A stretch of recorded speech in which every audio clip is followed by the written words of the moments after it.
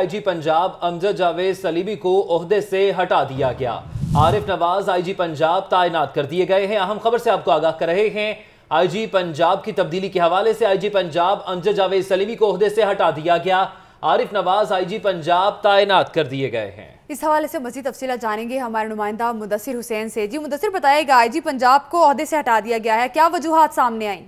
Punjab police میں بڑی تبدیلی آئی ہے۔ آئی جی پنجاب امجد جوید سلیمی کو تبدیل کر دیا گیا ہے۔ عارف نواز پنجاب کے نئے آئی جی تناس ہو گئے ہیں۔ عارف نواز دوسری دفعہ پنجاب کے آئی جی تناس ہوئے ہیں۔ الیکشن سے پہلے بھی captain retire Arif Nawaz Punjab police کے آئی جی تھے۔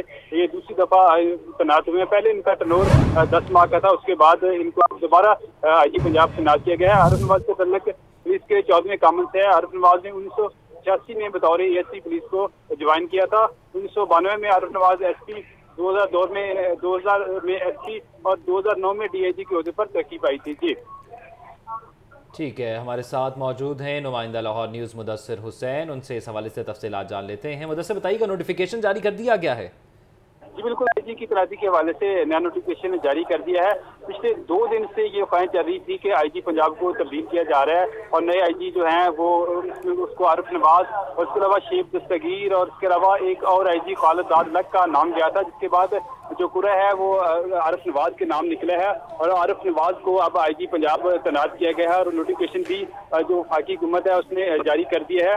اور یہ آئی جی پنجاب امجد سلیمی کو جو ہمارے ذرائع ہیں اس کے مطابق حمزہ شباز کی کو گرفتار نہ کرنے پر تبدیل کیا گیا۔ اس کے علاوہ آئی جی پنجاب کی تبدیلی کے بعد لاہور میں بھی مزید تبدیلیاں کا امکان ہے۔ ڈی اے جی پریشن کو بھی تبدیل کیے جانے کا امکان ہے جبکہ سی سی لاہور کو بھی تبدیل کیا جانے کا امکان ہے۔ اس کے بعد جب آئی جی کے بعد آئی جی جب کل اپنے عہدے کا چارج لیں گے تو اس کے بعد جو دوسری تبدیلی ہیں جو اس کے بعد ممکن ہے ان کی توقعات کل ممکن ہے کہ ان کو بھی تبدیل کر دیا جائے گا۔ جی۔ اچھا مدثر یہ بھی بتائیے گا امجد جاوید سلیمی کا کوئی موقف سامنے آیا اس فیصلے کے حوالے سے؟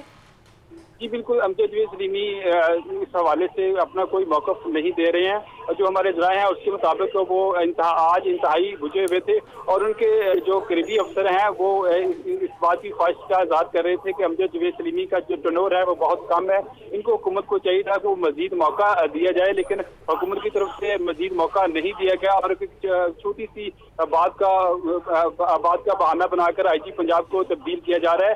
یہ موجودہ حکومت کا چوتھا آئی جی ہے۔